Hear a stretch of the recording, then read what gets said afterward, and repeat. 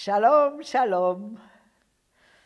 Ja, wir wollen weiter an den Prinzipien des Reiches Gottes arbeiten. Ihr Lieben, das ist unsere Zukunft. Wir werden in den nächsten Wochen, Monaten, Jahren noch Dinge erleben, die die Welt schockieren wird. Wie die Dunkelheit ans Licht kommt und diese Menschen, die eigentlich ganz viel Unheil angerichtet haben und im Dunkeln gemunkelt haben, wie die exponiert werden. Ihr Lieben, betet, dass diese Menschen noch die Gnade bekommen, umzukehren. Aber heute möchte ich wieder eine Predigt von Pastor Daniel Exler hier auf YouTube bringen, und zwar über Glaube. Jesus aber sprach zu ihm, wenn du das kannst, dem Glaubenden ist alles möglich. Das lesen wir in Markus 9, 23.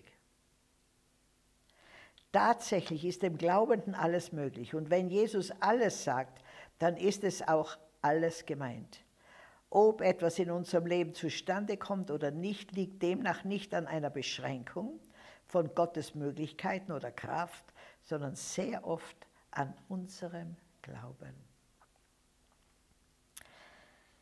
Wir haben ganz groß in unsere Community Hall geschrieben, wir brauchen nicht großen Glauben, sondern Glauben an diesen großen Gott. Und ihr Lieben, wenn wir den Glauben, den wir haben, in den großen Gott setzen, dann bewegen sich Dinge. Jesus beginnt sein irdisches Christuswerden mit der Botschaft an das Volk, die Zeit ist erfüllt und das Reich Gottes ist nahe gekommen. Tut Buße, das heißt kehrt um, ändert euer Denken und glaubt an das Evangelium. Und das Evangelium ist die frohe Botschaft, dass Jesus Christus, der Sohn Gottes, für uns gestorben ist, damit wir leben können. Markus 1.15 lesen wir von diesem, was Jesus da gibt als Botschaft, dass die Zeit erfüllt ist.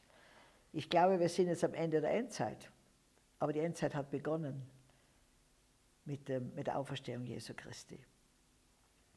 Das Reich Gottes und der Glaube sind ein Duo das man kaum trennen kann. Erst der Glaube öffnet die Möglichkeiten Gottes, dass wir aus seinem himmlischen Schatz Dinge auf, Erde, auf der Erde freisetzen können.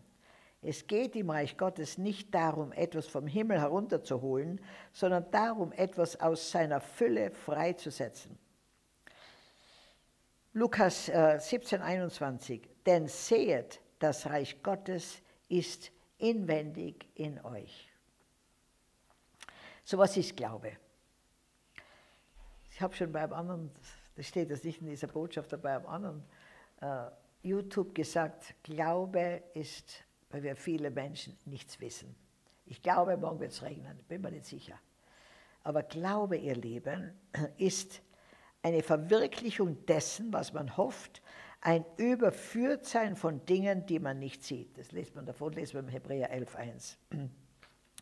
Demnach hat der Glaube einerseits etwas mit der Verwirklichung zu tun und andererseits mit der Überführung. Der Glaube ist eine Verwirklichung dessen, was wir hoffen. Das bedeutet, dass der Glaube eine Wirklichkeit auf einer ganz eigenen Ebene ist. Glaubende leben in der Wirklichkeit des Glaubens. Das heißt, sie haben eine Hoffnung, die auf der Grundlage der Bibel gegründet ist und nicht auf der Grundlage der Welt. In dieser Wirklichkeit leben sie, diese Grundlage haben sie und darauf hoffen sie. So zeigt uns diese Bibelstelle, dass es beim Glauben darum geht, auf dieser Grundlage zu leben und genau zu wissen, dass die Hoffnung bereits Wirklichkeit ist. Auf der anderen Seite ist sie eine Überführung von Dingen, die man nicht sieht, noch nicht sieht. Das heißt so viel wie ein Nicht-Zweifeln. Gott kann mit Zweiflern überhaupt nicht arbeiten. Die sind, die sind wie herumgeworfen im Wind.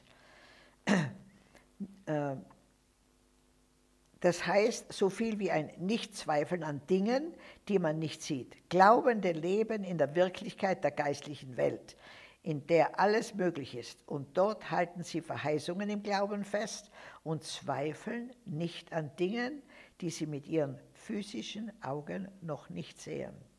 Der Schlüssel für Glaubende liegt hier in diesem Vers.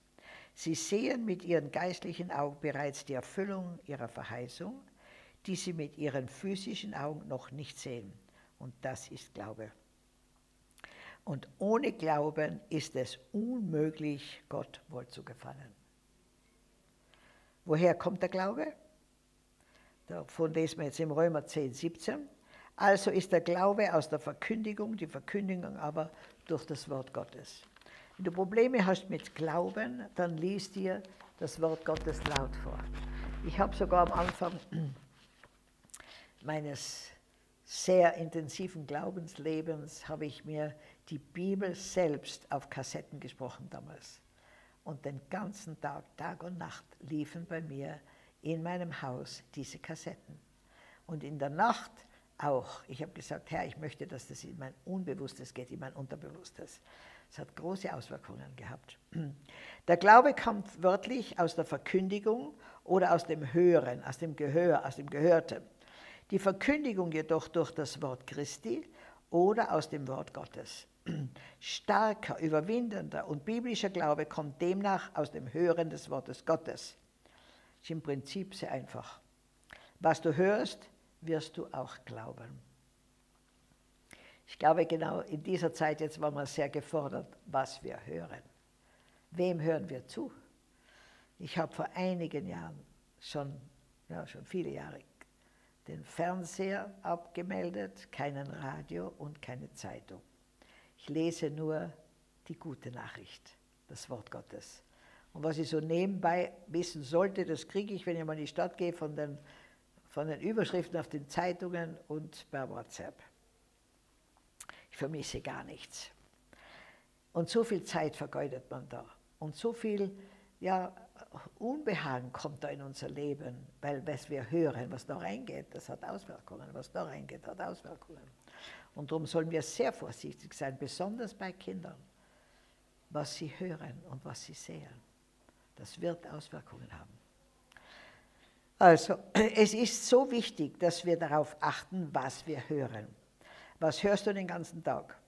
Wenn wir Sorgen, Ängste, Zweifel und Tatsachen der Welt hören, zerstört dies biblischen Glauben. Wenn wir allerdings das Wort Gottes hören, wird unser Glaube jedes Mal aufgebaut und gestärkt. Demnach ist Glaube kein Produkt einer großen Anstrengung, sondern eine bewusste Entscheidung, wem du zuhörst, beziehungsweise was du anhörst. Schon im Alten Testament, in Sprüche 14, 20 bis 22, sagt uns Gott, dass wir unser Ohr seinen Reden zuneigen sollen. Wir sollen diese im Innern unserer Herzen bewahren. Darin liegt eine Verheißung des Lebens und der Heilung. Wenn wir Glauben haben wollen, der Berge versetzt, der Kranke heilt, bei dem nichts unmöglich ist, müssen wir das Wort Gottes hören. Halleluja. Und wisst ihr, besonders wenn wir, wenn wir krank sind, wir dürfen da nicht auf unsere Gefühle hören, sondern auf das Wort Gottes. Ja, da könnte ich auch einige Geschichten erzählen, wie Gott mich geheilt hat. Und zwar so lange, bis das Wort Gottes in mir zu greifen begann. Glaube und Liebe in Galater 5, 6. Denn in Christus Jesus hat weder Beschneidung noch Unbeschnittensein irgendeine Kraft, sondern der durch Liebe wirksame Glaube. Glaube ohne Liebe ist nicht wirksam. Ein Glaube, der allerdings in Liebe vollbracht wird, ist eine sehr mächtige Waffe. Paulus erklärt uns im 1. Korinther 13, 2, dass er mit Glauben, aber ohne Liebe nichts wäre. Erst die Liebe zum Nächsten und zu Gott öffnet in der geistlichen Welt eine Möglichkeit, dass der Glaube zu seiner vollen, vollen Entfaltung und Wirkung kommen kann. Diese beiden gepaart mit Hoffnung, die nach Hebräer 11.1 die Grundlage des Glaubens ist, haben einen Ewigkeitswert. Glaube und Hoffnung und Liebe. Glaube und Geduld, damit ihr nicht träge werdet, sondern Nachahmer derer, die durch Glauben und Ausherren die Verheißungen erben. Hebräer 6,12 ist es. Nicht nur die Liebe und die Hoffnung sind beim Glauben entscheidend, sondern auch die Geduld, das Ausharren, das Dranbleiben. Und da könnt ihr was von den Afrikanern lernen.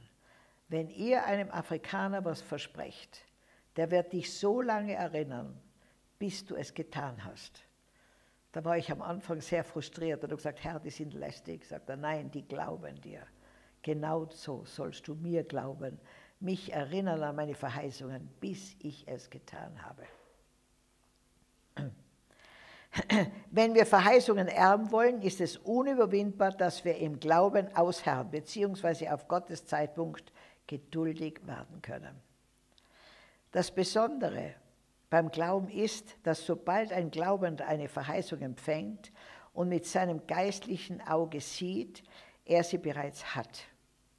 Aber wenn er sie noch nicht physisch sieht, hat er die Erfüllung jedoch innerlich bereits in seinem Herzen. Auf diese Weise kann man sehr lange warten. Wenn eine Verheißung sichtbar wird, spricht man oft von einem Wunder.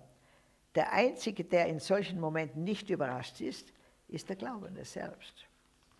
Denn er hat schon seit Jahren im Herzen gesehen. Das Wunder war bereits reell in der geistlichen Welt vorhanden. Er hat durch Glauben und Geduld die Verheißung geerbt. Je mehr man auf die geistlichen Realitäten schaut, umso äh, desto unwichtiger werden die physischen Tatsachen. Die Folge ist, dass die Geduld eine sehr leichte Nebenerscheinung des biblischen Glaubens wird. Die großen Glaubensmänner, die in Hebräer 11 erwähnt werden, hatten dieses Prinzip verstanden. Manche waren so stark im Ausharren und in der Geduld, dass sie es während ihrer eigenen Lebenszeit gar nicht mehr gesehen haben. Das werde ich euch dann jetzt gleich vorlesen. Diese Glaubensmänner glaubten in Geduld und erbten die Verheißung jedoch nicht mehr in ihrem Leben, sondern sie wussten, dass Gott etwas Besseres für sie vorgesehen hat. Diese Glaubensmänner wussten, dass die geistlichen Wahrheiten wichtiger und realer werden, waren als die physisch sichtbaren Tatsachen. Und dann möchte ich euch jetzt nur ein paar Glaubenshelden vorlesen. Es ist wunderbar. Ich nenne sie die Ehrenhalle der Gläubigen im Hebräer 11. Ähm, der Glaube aber ist eine Ver Verwirklichung dessen, was man hofft, ein Überführtsein von Dingen, die man nicht sieht. Denn durch ihn haben die Alten Zeugnis erlangt. Durch Glauben verstehen wir, dass die Welten durch Gottes Wort bereitet worden sind, sodass das Sichtbare nicht aus Erscheinendem geworden ist. Durch Glauben brachte Abel Gott ein besseres Opfer als Kain, durch welchen Glauben er das Zeugnis erhielt, gerecht zu sein, indem Gott Zeugnis gab zu seinen Gaben. Und durch diesen Glauben redet er noch, obgleich er gestorben ist. Durch Glauben wurde Henoch entrückt, sodass er den Tod nicht sah. Und er wurde nicht gefunden, weil Gott ihn entrückt hatte. Denn vor der Entrückung hat er das Zeugnis gehabt, dass er Gott wohlgefallen habe. Und jetzt, der, der, der, den müssen wir uns merken. Nummer 6 im Kapitel 11. Ohne Glauben aber ist es unmöglich, ihm wohl zu gefallen. Denn wer Gott naht, muss glauben, dass er ist und denen, die ihn suchen, ein Belohner wird. Jetzt kommt der Noah. Mich hat der Herr einmal gefragt, ob ich den Glauben von Noah möchte. Und dann habe ich gesagt, Herr, bitte lass mich ein bisschen nachdenken. Wie war das beim Noah? Da bin ich drauf gekommen, dass der 100 Jahre eine Arche auf einem Berg gebaut hat, wo kein Wasser war und es nicht geregnet hat. In der Zeit hat es nicht geregnet, da war ein Wassergürtel um die ganze Welt herum und es war nur alles wie ein subtropisches Klima. Gab es keine Antarktis, nichts. Der ganzen Welt war das gleiche Klima. Und er hat 100 Jahre an der Arche gebaut. Und 100 Jahre wurde der verspottet, ausgelacht, als verrückt erklärt. Aber nach 100 Jahren ist den anderen das Lachen vergangen. Denn dann kam der Regen. Noah hatte einen Glauben, der war wirklich durch Ausharren äh, gekrönt. Er hat ja 100 Jahre eine Arche gebaut auf einem Berg, wo kein Wasser war, es hat auch nicht geregnet, im Gehorsam an Gott. Also logisch war das sinnlos aber er hat geglaubt. Und durch Glauben, heißt es im Vers 7, äh, Hebräer 11, 7, durch Glauben baute Noah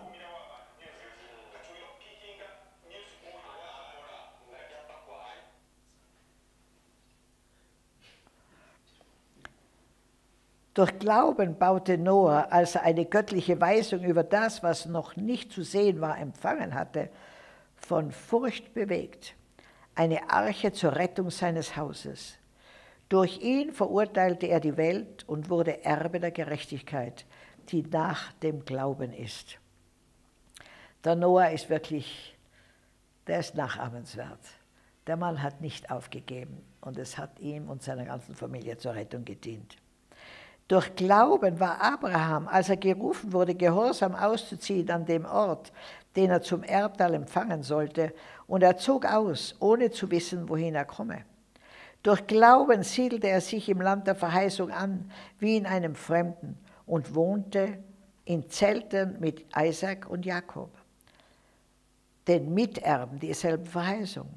Denn er erwartete die Stadt, die Grundlage hat, deren Baumeister und Schöpfer Gott ist. Durch Glauben empfing er auch mit Sarah, obwohl sie unfruchtbar war, Kraft, Nachkommenschaft zu zeugen, und zwar über die geeignete Zeit des Alters hinaus, weil er den für treu erachtete, der die Verheißung gegeben hatte. Deshalb sind auch von einem, und zwar Gestorbenen, so viele geboren worden, wie die Sterne des Himmels an Menge und wie der Sand am Ufer des Meeres, der unzählbar ist.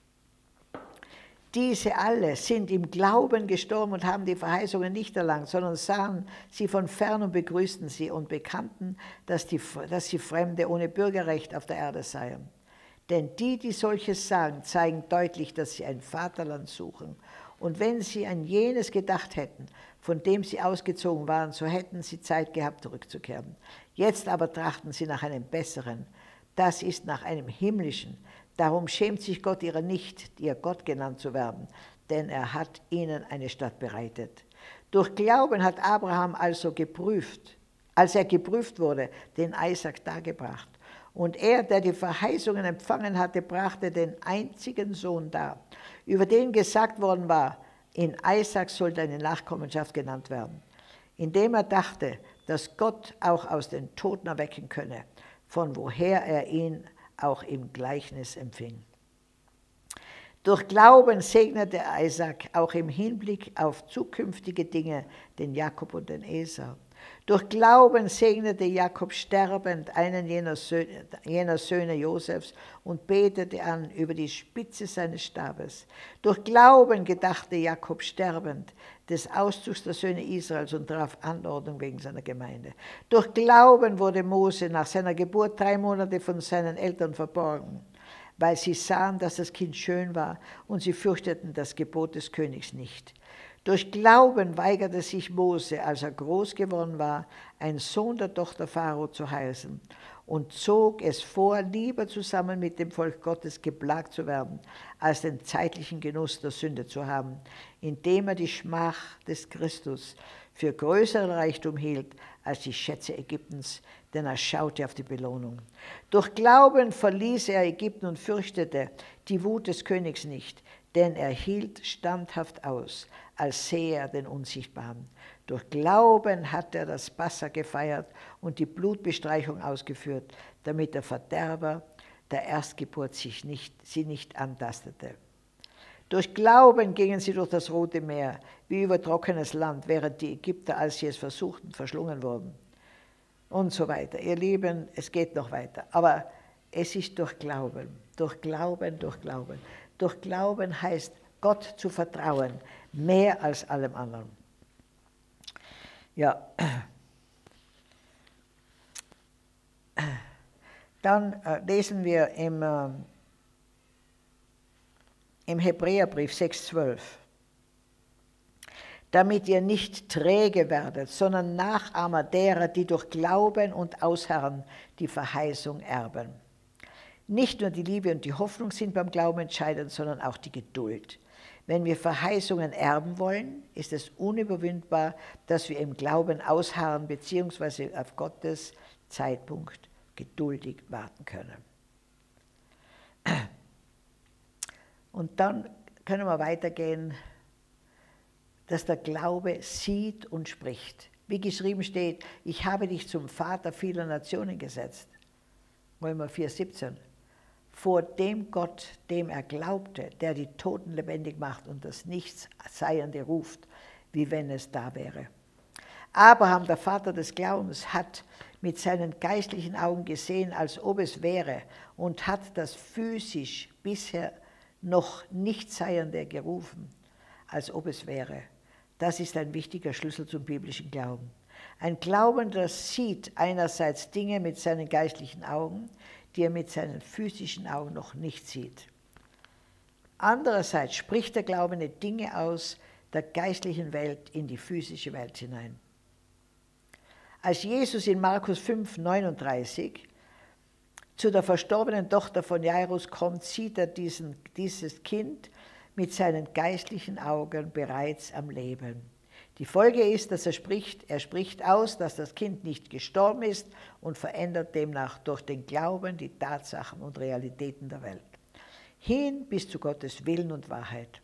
Demnach ist alles möglich für den, der da glaubt. Jesus ermutigt uns, die gleichen Dinge zu tun. Davon können wir in Johannes 14, 12 lesen. Durch das Wort Gottes, das die Wahrheit ist, können wir jede Realität auf dieser Welt verändern. Da möchte ich eine kleine Geschichte aus meinem Leben erzählen, die mir sehr bewiesen hat, dass Glaube das Um und Auf ist.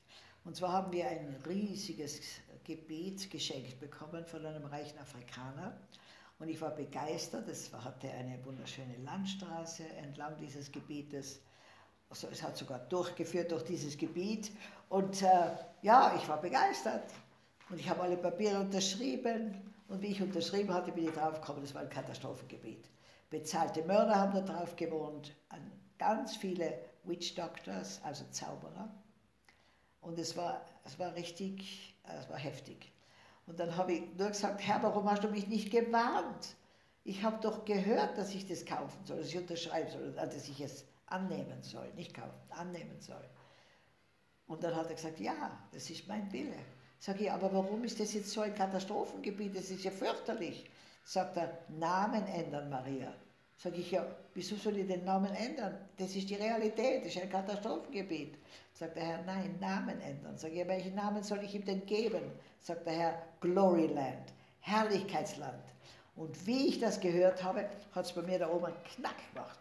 Und ich habe neue Brille bekommen für das Ganze. Ich habe es von dort an als Herrlichkeitsland gesehen. Und, und heute ist es ein Herrlichkeitsland. Der Herr hat mächtig gewirkt dort. Er will, wisst ihr, aller Segen, den Gott für uns bereithält, ist leider besetzt.